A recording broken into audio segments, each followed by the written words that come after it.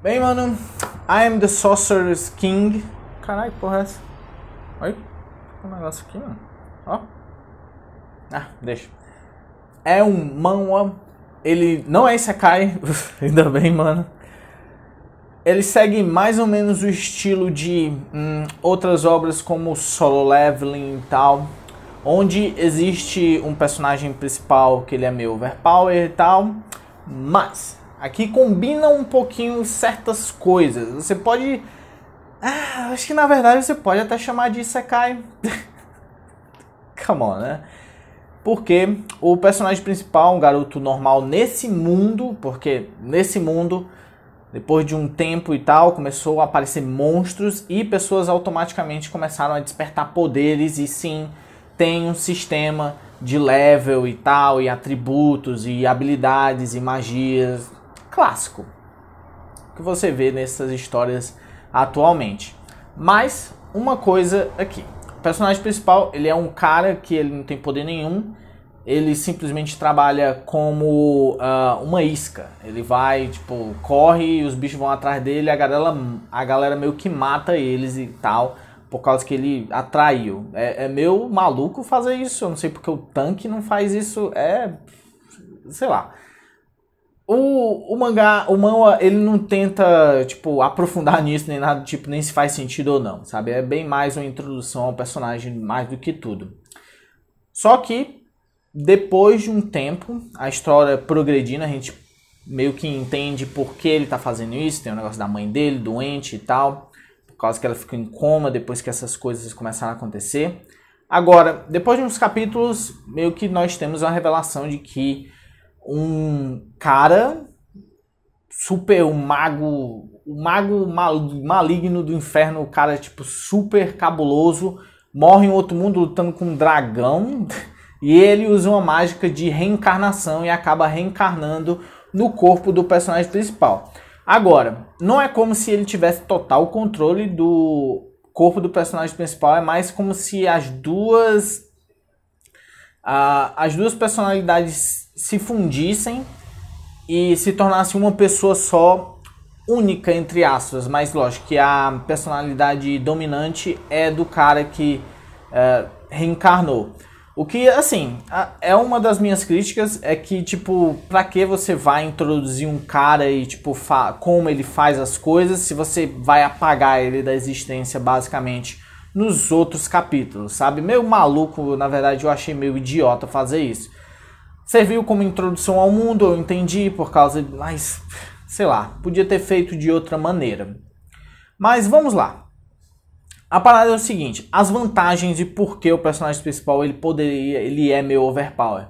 Nesse sistema, você aprende certas habilidades e tal, dependendo do seu nível, você vai progredindo e tal e desbloqueando as habilidades, pelo que deu para entender assim, eu lendo o mangá todinho. Ele não especifica bem como você ganha novas habilidades e tal, não, você não sendo o personagem principal.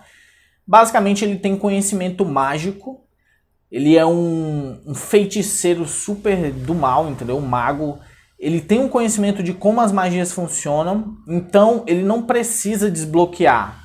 Ele simplesmente sabe e faz. Se ele tem mana para fazer e ele pode suportar aquela magia, ele faz.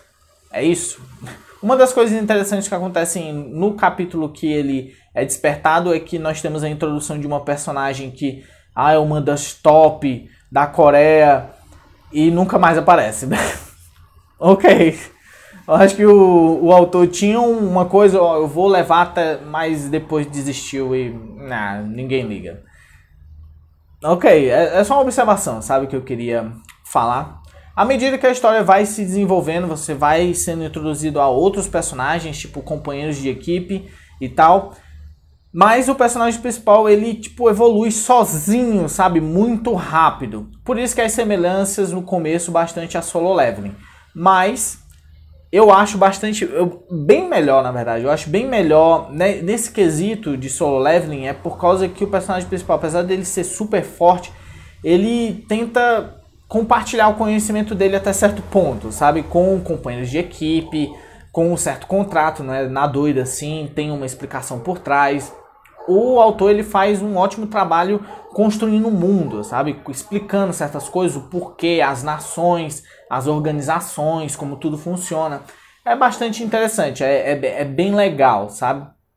E também como certa, certos equipamentos funcionam, não nada muito super complicado, mas do jeito que explica, você olha, ah, ok, eu, eu entendo. Em questão de treinamento, ele simplesmente faz, sabe? Ele precisa treinar, ele precisa de equipamentos, ele precisa de itens, ele não faz ele super foda desde o começo e sai destruindo todo mundo, sabe?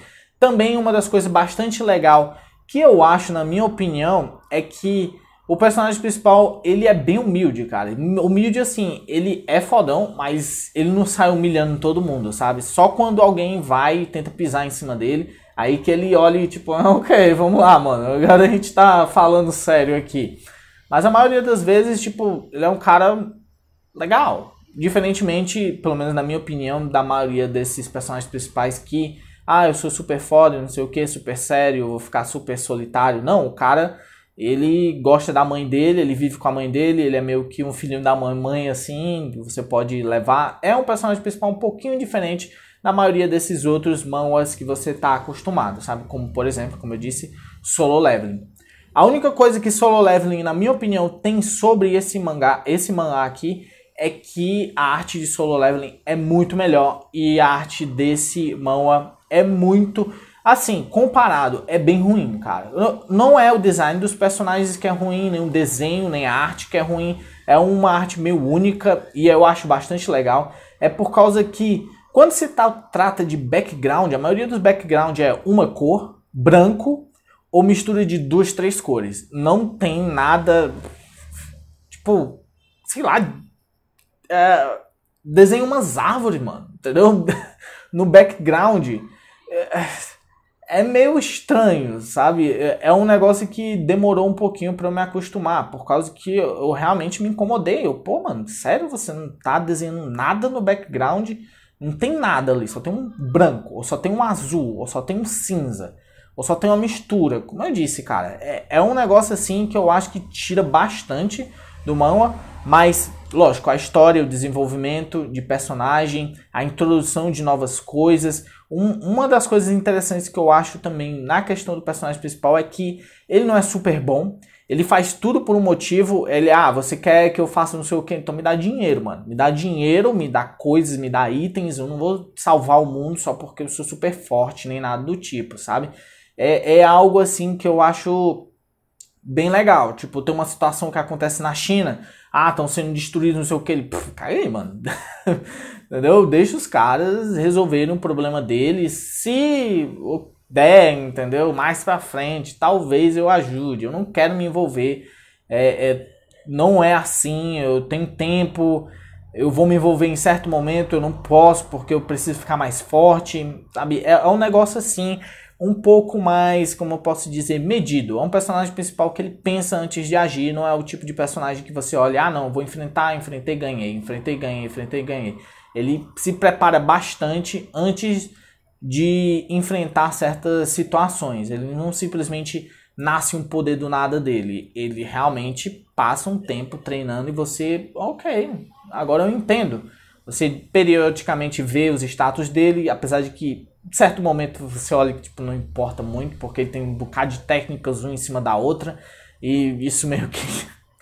é, no, o nível dele ou alguma coisa desse tipo não é realmente um limitador nas habilidades deles. Tanto que tem muitas partes que você olha lá embaixo, na parte tipo pontos a distribuir, ele tem um bocado, sabe? Porque ele não distribui ponto, ele naturalmente é, é, ele é forte por si só. Tanto que é outra coisa bastante. Por isso que eu gosto do desse, desse autor, porque ele tenta explicar muito as coisas. Ou seja, ele tem um sistema, sabe? Esse sistema que é o da Terra e que as outras pessoas usam, mas ele tenta ir além do sistema, usar o conhecimento dele, usar a mana dele, usar a coisa dele, para ele não ficar preso a essas limitações do próprio sistema, sabe? E também o autor ele introduz que ele não é o único. Tipo, dentro mesmo da Terra existem nações com as suas próprias culturas em que eles, sabe, desenvolvem a sua própria magia, do seu próprio jeito, por causa que as culturas deles já faziam certas coisas sobrenaturais há muito tempo. Como, por exemplo, sei lá, cultura da China. Tem um negócio de artes marciais e tudo mais, o Ki, o Shi, entendeu? Esse tipo de coisa. Pá, bota dentro do, do sistema, é uma coisa a mais e desenvolve de uma forma diferente. Até as magias deles são diferentes, sabe? O modo que eles percebem o sistema é diferente. Então, é um, é um, um autor que ele se preocupa bastante com world building, com o negócio de você construir essa sociedade, o porquê as coisas acontecem, conflito entre países, conflitos assim, né? Sabe, espionagem, ou tipo, como certos países é, reagem a certas situações. Ele não leva como se fosse algo tipo, ah, não, aparecem dungeons e aparecem não sei o que e tudo bem, e as pessoas matam. Não.